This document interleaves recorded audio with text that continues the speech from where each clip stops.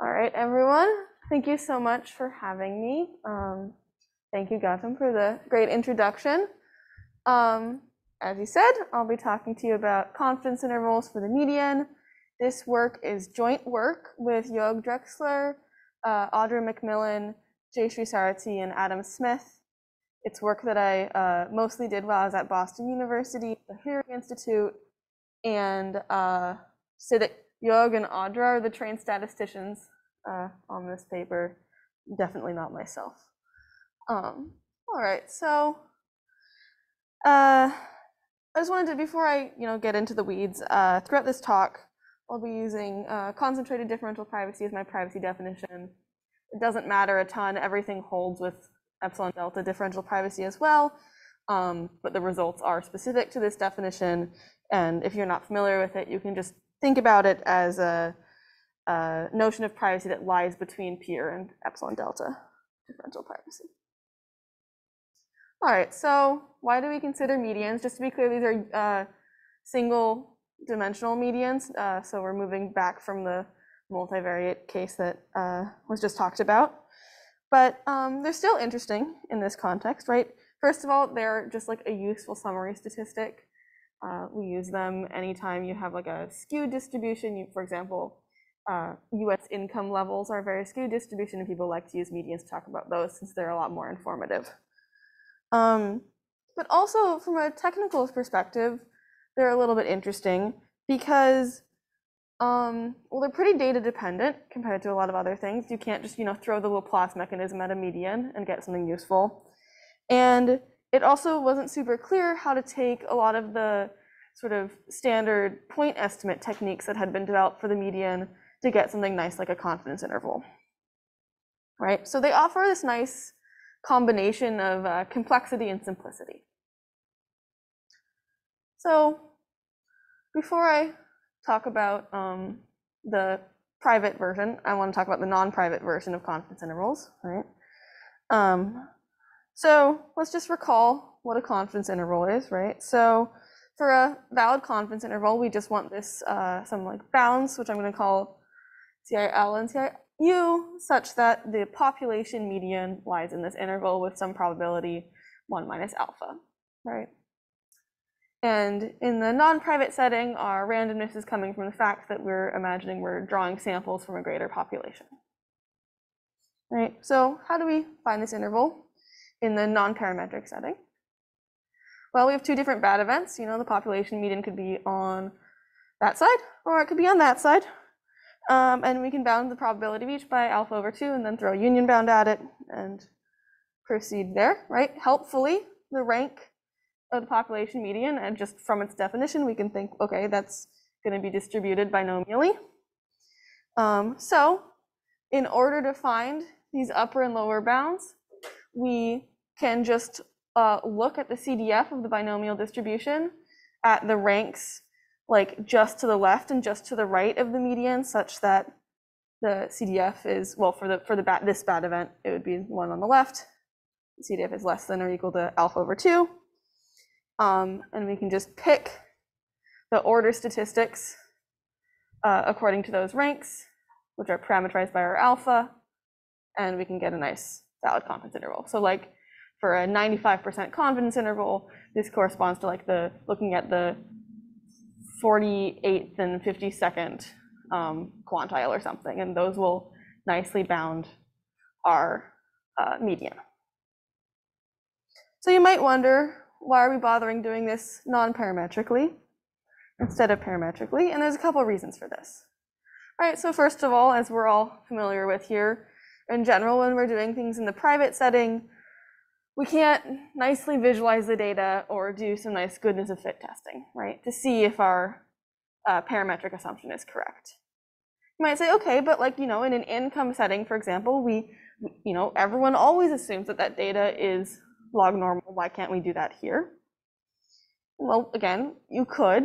That is some sort of, like, general, like, institutional knowledge that you could apply to the problem. The issue here is that misspecification leads to some pretty drastically bad bias.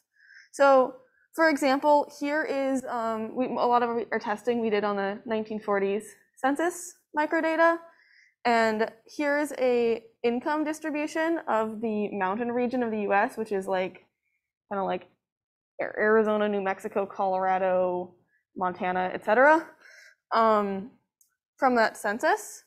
And if we use, uh, so this data is extremely centered at zero. So like lots of people had incomes around zero, but then you have this sort of like long tail going out. So the true median is actually around $500 of income. Um, and you can see those dotted lines around the turquoise true median. Um, those are that's the non-parametric confidence interval that's correctly specifying it.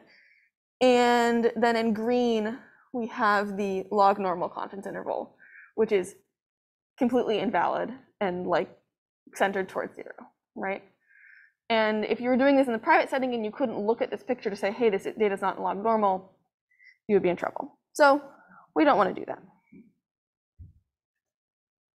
Um, and then of course you also might ask, well, why can't we use existing differential privacy techniques? And of course we, we are going to, we're gonna be relying on them quite heavily.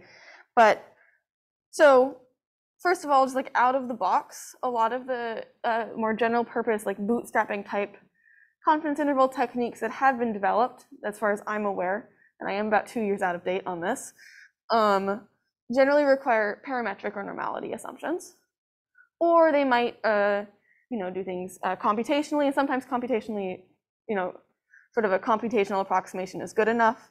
But we were particularly interested in this case on getting some like uh, real mathematical validity guarantees. And then also it was just like generally unclear how to extend some of the guarantees of a point estimate uh, to like a true confidence interval.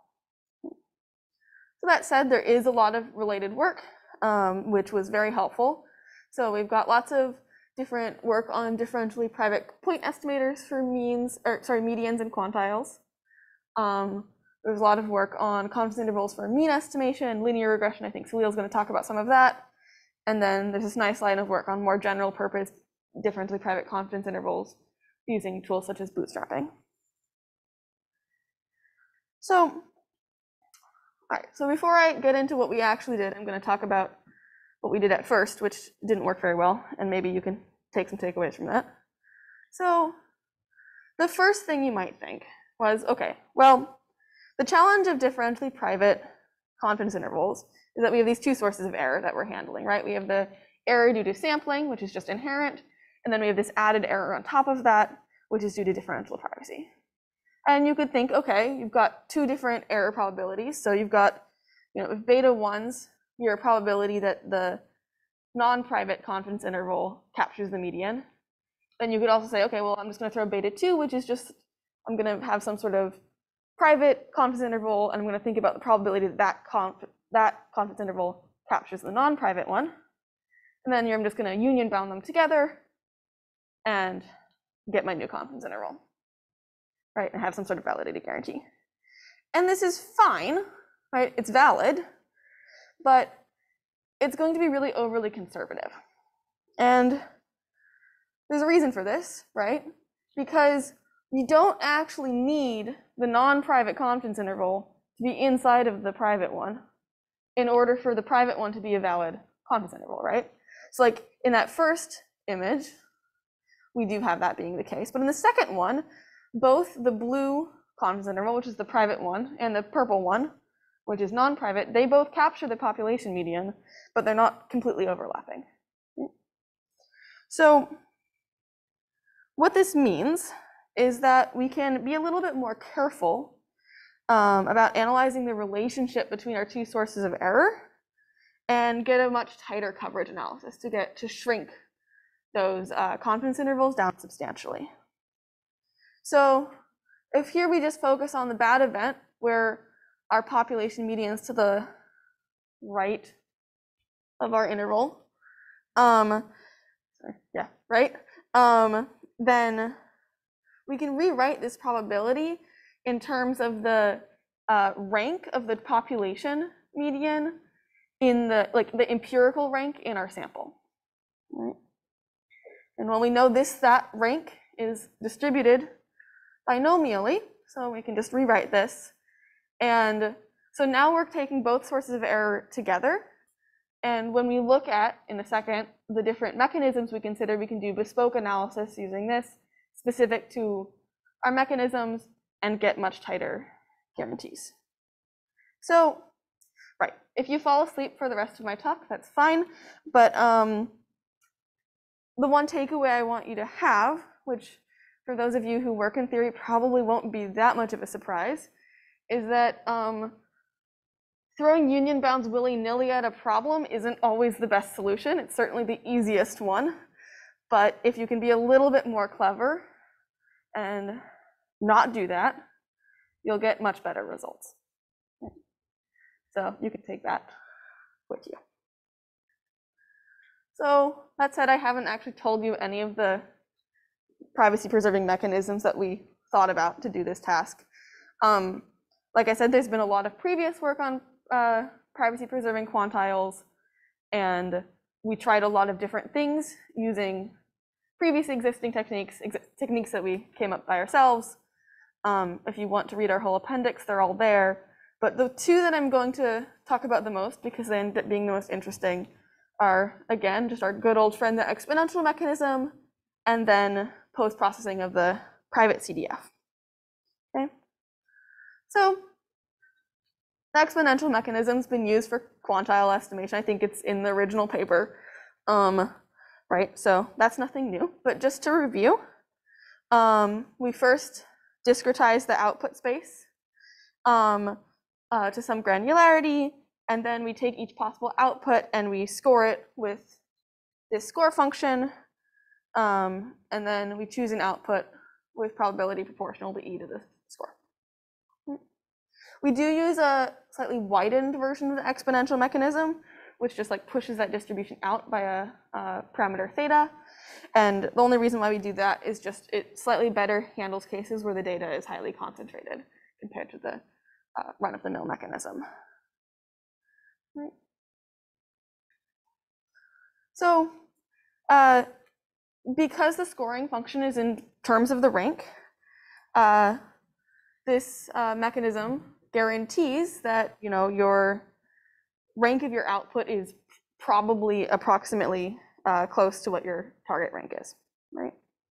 So we can use this in combination with that uh, rewriting of the empirical rank of the population median, do some math that I'm not going to show you, and get some relatively tight confidence bounds on the median that are privacy preserving. So here you can see in red, that's just like the noisy distribution of that of the output, and you'll see that with high probability, it's always kind of like it's always outside of the at least in this example, it's always outside of that true confidence interval, sorry, or the non-private confidence interval, and it certainly contains the population median. Uh, though this is only one run, of course. So we don't get a point estimator of the median directly out of this. Uh, you can if you want.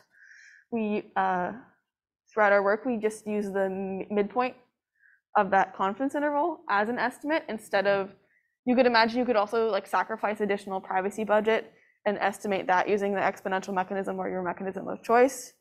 Uh, we generally found that that wasn't a, a great idea. And if you've got a small privacy budget, it's better just to do this. Um, that said, this is a biased estimator. Uh, so if you care a lot about bias, it might not be uh, your best choice. And there's some open questions I'll get to towards the end that kind of loop back to this. Right, so this is a nice method, but uh, like many differential private things, it's also a black box, right? So we thought about this other method where instead you post-process a private CDF to get some confidence intervals for the median out of that. And that's nice because you get the whole CDF out of it. Um, but we thought, okay, this is so much more information that there's no way that it will possibly do very well. All right, so there's, again, many works on differentially private CDFs. Um, we use specifically James Honaker's 2015 work on uh, this, which uh, basically computes the CDF using a binary tree. So you compute essentially a histogram at multiple levels of granularity, uh, as represented in this tree form. And then you can leverage the fact that at every level of the tree, those different sums should, like the sums at the bottom of the tree should sum up to the values of the nodes right above them, even though, I mean, of course, you've added noise, so they won't. But you can use some nice post-processing to get a very uh, a clean collection of the, the underlying counts of your histogram, and then from there you can get a CDF.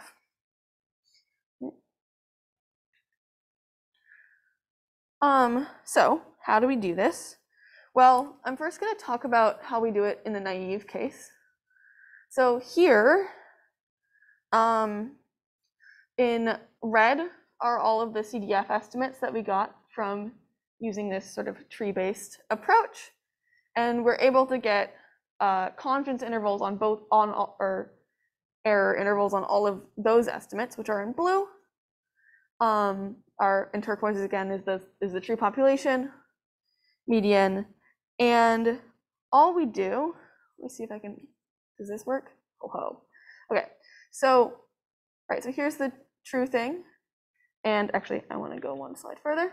Right. Okay. So here's the non-private confidence interval. That's where it should be. And we just locate the point whose error bounds are just to the left of the target quantile and just to the right of the target quantile. So here, we have to go all the way. You'd think it'd be right here because here's the first one where the lower bound of the error is right above that. But actually, we have to go a little further because it dips back down. And here is our other end of the quantile. Right, and if we pick those as our private confidence interval, we can guarantee that we have something that's valid. Uh, that said, right, we had to, for this, this one, we had to wait until this bottom error bar the last time it crossed the target quantile, which was way out here. And that's partially because the CDF sort of naturally flattened because of the distribution we were looking at. This is log normal data, I think. Um, and so as soon as you have this flattening happen, you end up with really, really wide confidence intervals. Right? So that seems not great. So instead, we can do this more careful analysis.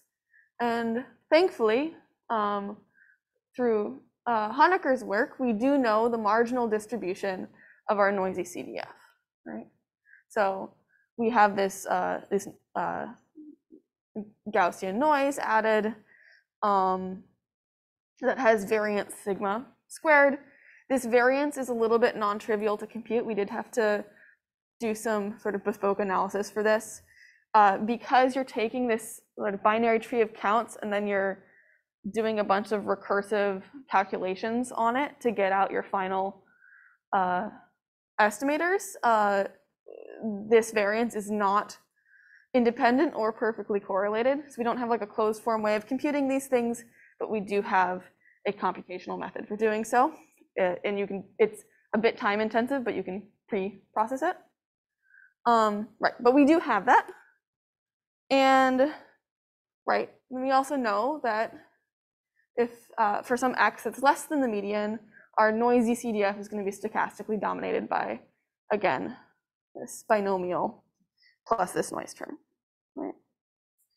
So what this means is that for every value in our discretized range, we can find some a sub x, which is dependent only on this variance term of the count, such that if x is truly less than the median, then uh, the probability that our noisy CDF is greater than a sub x is less than or equal to alpha over 2. Okay? So what we can do is we can essentially run a hypothesis test where we say, hey, for each x in our discretized range, is the CDF or the noisy CDF greater than this a sub x that we've calculated? And then we can pick our upper limit of our confidence interval accordingly as the largest value of x where the test fails to reject. And we can calculate the lower bound in the same way, or analogously. Okay, so here in pink, we've gone through and for each value in our discretized range, we've calculated these little a sub x's, which again, you can pre-process. Um, and then we have found the very first value above our target quantile, or sorry, that so that it's failed to reject. Right, so here's, um, you see the red point is above the pink point. and here this is the first one where the red point is below the pink point.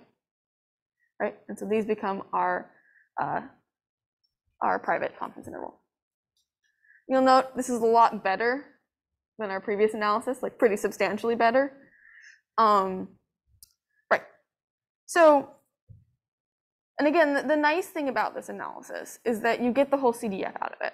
So if you weren't just trying to get a confidence interval for the median, maybe you were doing some other data analysis as well, this would be a really nice way to go about doing it because you get all of this extra information. So we uh, evaluated our uh, stuff in a couple different ways. So we both used uh, simulated log normal data and we looked at uh, the 1940 census, both with different test, test beds. Um, I'm just going to summarize the work using the simulated log normal data here. Um, so the first thing we did is we look at the relative width of the non-private and private confidence intervals. So this is the 95% confidence interval divide like its width divided by the private one. And you can see a couple things. So First of all, as a general rule, uh, here in sort of this reddish maroon color, this is the um, uh, exponential mechanism using the careful analysis, and it, generally does better than anything else over uh, most regimes that we looked at. There are a couple where the CDF method does better, uh, which I won't go into. And then in pink, you have the CDF method, Right? so the main takeaway is that the exponential mechanism does best. CDF method doesn't do too badly, though, that being said. And you can also see that just like the, the union bound method does a lot worse than the other method. So here's the union bound CDF version, here's the non-union bound CDF. Here's the union bound version of the exponential mechanism, here's the non-union bound. Another way of interpreting this is you can think about right? So the relative width, right, like here's, here's relative width being two, that ratio being two.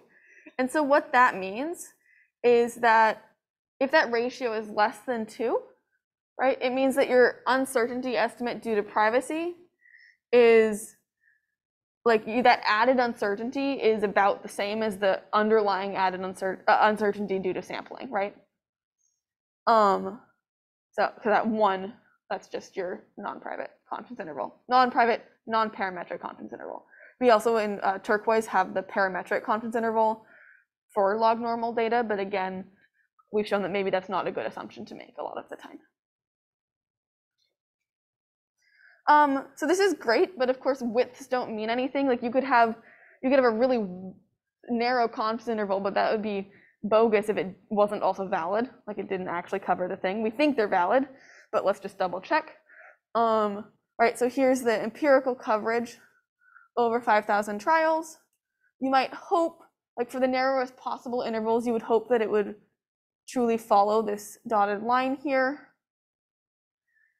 Um, and what we see is that it's overshooting quite a bit, right? So the union bounds methods really overshoot the true coverage. And then these improved methods still overshoot, but by not quite as much. So it's worth noting that this overshooting doesn't come at a huge, huge cost, right? If we think back to those, um, that previous plot, the, um, the, the, the widths weren't that much bigger, but they are covering the population median substantially more. Um, so it maybe it's not the worst thing in the world. Um, but it's also interesting to ask how much this is inherent to the question of privacy. Like, is there something just like very general you can say about like how much more over coverage you have to do in the private setting? Or if we worked hard enough, at this, could we get something that's tighter and tighter and tighter?